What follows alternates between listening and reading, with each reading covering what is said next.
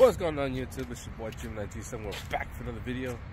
Anyhow, uh, there's something wrong with my taillights on my truck, and I got my friend, my, one of my best friends, Ed, is working on it right now. So, if you guys know the Freightliner dealership on 610, I don't think you uh, they're no longer service there. Maybe, maybe they work on trucks there, but they don't sell parts there. So if you need parts on your truck for your Freightliner, Columbia, uh, Cascadia, Western Star parts and all that, they're no longer there no more. So I'm at the new location. It's right here for Highway 90 and Purple Sea Sage. Highway 90 and Purple Sage. So here is a Freightliner dealership. Nice parts, okay? And at the old location, you usually pull a ticket number, and then when they call your number, you'll come, you go up to the to the desk, and the service to get your parts number, right? Well, here to do it totally different now. So let me flip the camera around. So that's where you check in at. Okay, drive in. It's a nice facility, brand new. They had a concert here.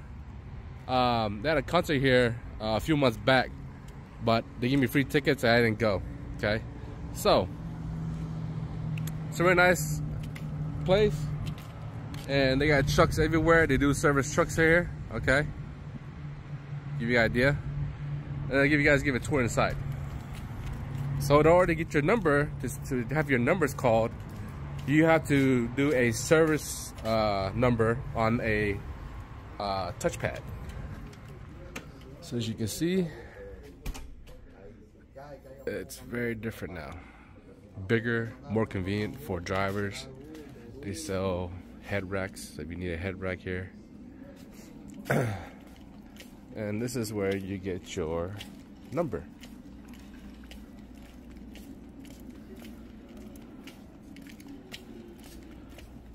So right here, you gotta sign in right there. And then you, English, Spanish, select the individual, says English. You put, you don't have a customer number, so you put here, don't have a number and then you enter your company name, whatever information. Okay, pretty simple, and they'll call you. So once you get your number here, your number will be post on the screen. So that one's 10 E1040, close, close, close, close. That one's E1037, E1040. That's being serviced now. Okay, it's really nice. This set of chairs here. It's very comfy for more drivers to chill out, to wait for the number to be called. Um, they got nice chairs here. They got a nice showroom. There's a one of the new Freightliner Cascadias over there. Okay, so you can check it out.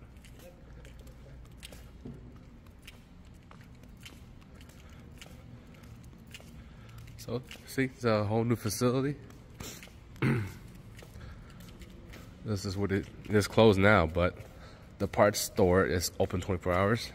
Okay, so here's the new Freightliner Cascadia, the new one.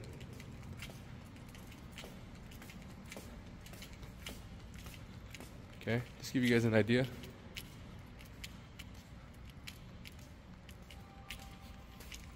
So I'm looking for something like this, a bar like that, bar like that, and I'm gonna try to find this.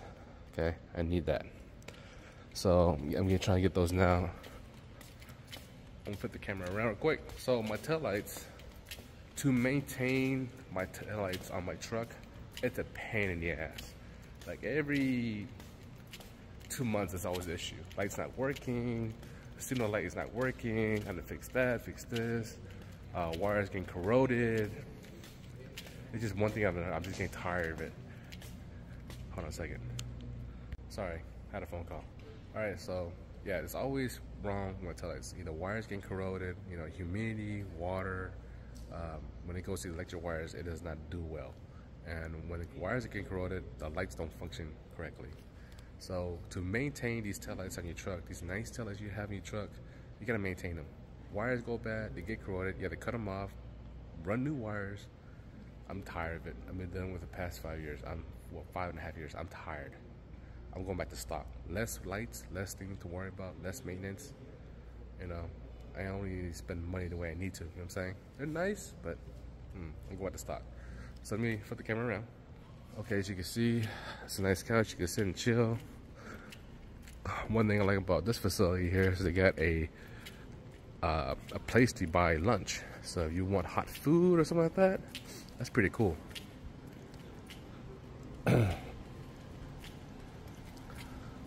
check that out.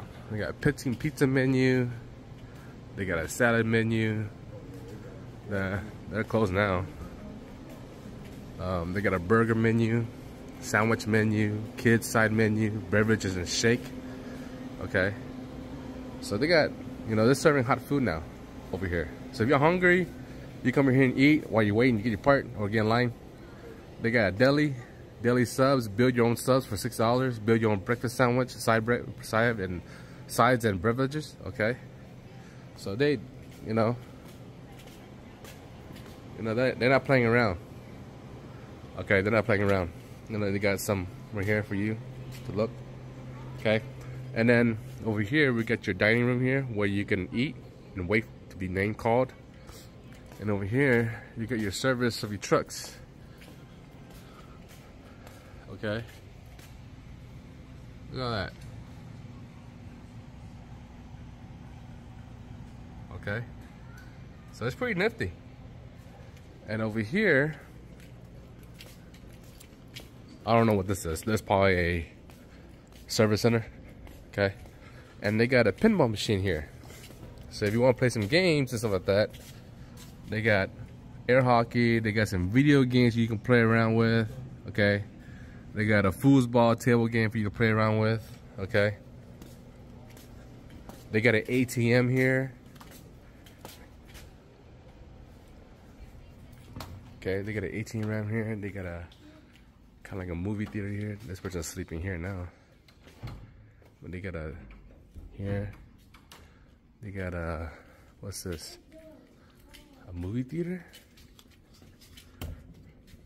Oh yeah, they got a movie theater here. Look at that. They got a movie theater here. How cool is that? Okay. They got bathrooms here as well. Men, woman, okay. So it's pretty cool. It's pretty cool. When they get the um, ATM machine right here. It's ATM machine.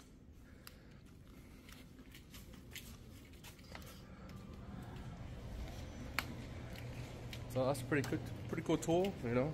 So Freightliner has stepped up the game to help drivers out, you know. Hot food, game room, movie theater, you name it, they got it. You know. All right, guys. Just gonna give you show you about the new Freightliner place here. You get your parts. Peace. Later. A few moments later. Guys, we're back. We fixed the issue, so this is what it looks like now. Okay. So I don't. There's a spring in there that's cutting the wire. Okay. There's a spring in there that's cutting this wire here, and this light here doesn't work. Okay. So I had to drill a hole here, bypass it to make it work. So I've been running like this for this past week. This thing here is getting worse. This thing here is bouncing up and down even more. And look at that. It's bending up bad. This side too. So, and it's scraping my mud flap. So, I had comments to the got what stuff that I need, and he said okay, but I don't have time to go to the shop to do it. So what I'm gonna do is I bought some, I went to the chrome shop near where I park at, bought me some hangers. So I'm gonna place this one here, I wanna place that one there. The middle I'm gonna leave alone. I'll let Miss Aaliyah do that because it has lights with reverse lights and all that stuff. So what I'm gonna do is I'm gonna cut this off electric tape it, okay, and probably put a bag over it somehow, and then uh, shove it back in the hole and then cover this hole with, with electric tape just to get by until I have time and a little more money so I can do that centerpiece. Because I'm going back to um, I'm going back to stock. I'm not doing this no more. I'm tired. I'm tired of corroding wires. I'm tired of lights not working. I'm tired of the signals not working. Uh, nighttime driving lights not working. I'm tired. I'm literally tired of it. Okay, so I'm going back to stock. So I'm gonna do that one and this one today. Catch you later. A few moments later. All right, what's up, guys? We're back. Okay, it's done. Let's put the camera around. Here we go. Took me about probably like 45 minutes not long. Okay, use uh, old mud flaps and the uh, DOT reflectors. You gotta have this. If you don't have this, they'll um, give you a ticket for that. oh, uh, not just a warning. Well, uh, yeah, warning citation, but you gotta have it. Okay. Pretty simple install. Nothing crazy. Okay. Looking good. And I'll also go ahead and grease my fifth wheel. So I grease my fifth wheel too as well. Okay. So we're good there. Here are the old ones. I'm just gonna take the lights out and throw away the rest. Just take the lights and throw away the rest.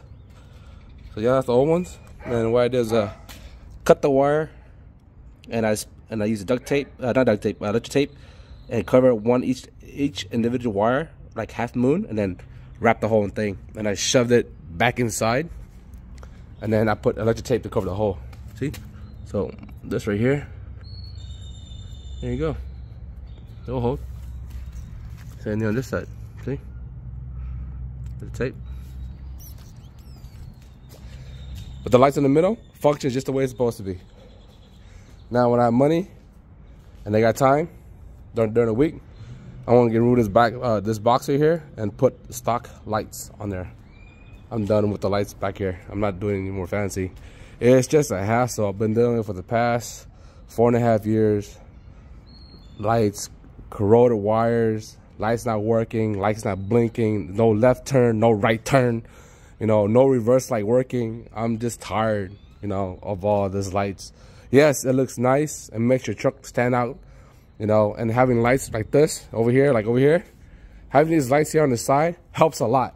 So if I want to make a left turn signal, the lights right here are bright enough to show the people on the blind side here to, to let me over, you know? But man, as you can see, here's the passenger side. Look at this.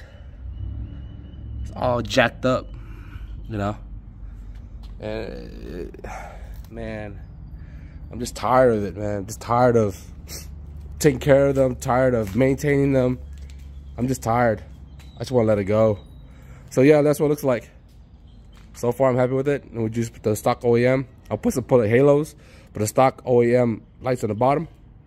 Remove this box, get rid of this box, and that's it. You know? Hell yeah. Alright guys, thank you for watching. Please give me a thumbs like, hit the subscribe button below, hit the notification bell. I'll try to try to continue making this kind of type of content as I keep it going as I can, as much as I will. I'm surprised that I'm back doing YouTube videos again. So yeah. So yeah, just trying to keep going. You know, less maintenance on the truck. You know, I don't. I, I, didn't have to spend money to maintain these lights. It costs me money. You know, and you know, buying wires, buying the uh, the, the the pigtail wiring harness, the back of the light. You know, buying more feet of wire because the wire got corroded. You got to cut it off and add new wire and you got to solder it and this and that. It's just man, it's just a headache, dude. I'm I'm just tired, you know. I'm just tired of it. It's cool, looks nice and everything, but man, to maintain these backlights ain't no joke, man. That's why I see a lot of trucks that have all these lights, this neon glow and all that stuff, and having this lollipop lights on the side mirror and all that stuff to help you signal and that way it, it does help, you know, it does make the truck look nice, but to, but to maintain it, the light goes out, you have to replace it because if DOT can be really asked about it, hey, your lollipop light doesn't work, it didn't blink anymore, I'm gonna write your right warning citation on that. Oh, your left your left mud flap is stopped blinking left. Okay, I gotta write a citation for it. You know, things like that in general. You know, that I have truck drivers that I've seen. They have you know lights right here, like small DOT lights right here. They put over here on the side. Okay, and the little small lights. Those light goes out. That's a DOT violation, like a warning citation. People put lollipops right here, so you can signal, so people can see right here and and, and when this thing turns signal left, this light pop right here also turns left as well. You know, like amber light. That goes out and DOT sees that, a warning citation there. Every time there's a light, okay, every time there's a light that's on there and it's not working, they write you up a, a warning citation ticket for that, okay? Every single damn time. Let me give you another example. You see those marker lights up there? If one of those lights don't work, that's a warning citation, okay? Plain simple. Plain and simple. If one of those lights up there stop working, that's a warning citation. And I'm telling you, DOT can be a pain in your ass, and they can be a sort of a kind of a friend. Most cases, they're asses. Okay, they'll get you for anything. You're missing a mud flap. You don't have reflector DOT tape on your mud flap, like you know right here. If you don't have that, that's a warning citation. You know, this right here. Okay, you don't have that. Warning citation. Little things like that. And we're over here working our ass off, trying to pass the DOT inspection and, you know, have a good name for ourselves. And we're working in here, making our money, and they do that. Just tired of it, you know? Plus, it costs money to maintain your truck. You know, tires, oil change, shocks, airbags goes out, airbag leak, airline leaks. You gotta replace that, replace that or fix that. It's just one thing or another, you know? So I'm trying to reduce maintenance costs and rather have that money in my pocket, I can use that money for something else, like vacation or something. You know what I mean? Or or one of my hobbies. You know what I mean? That's it, guys. All right, guys. Peace. I'm out. Catch you next time.